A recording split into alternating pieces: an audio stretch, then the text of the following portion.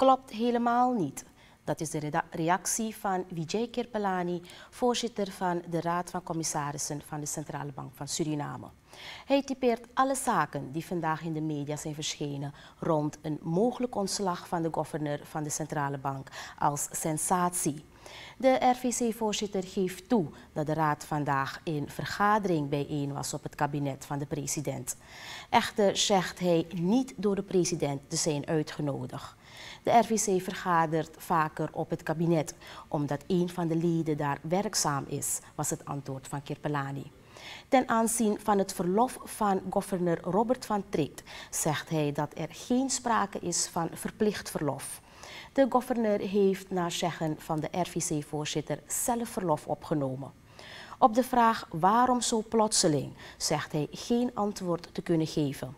Kirpelani ontkent ook stellig dat Van Trikt ontslagen zou zijn. Zaken worden volgens hem zwaar overtrokken.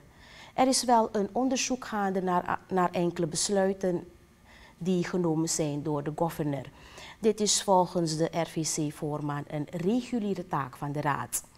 De geruchten dat Van Trick ontslagen is, zijn echter heftiger geworden nadat hij zonder redenen op te geven de nieuwjaarslezing voor de Vereniging van Economisten in Suriname afzei.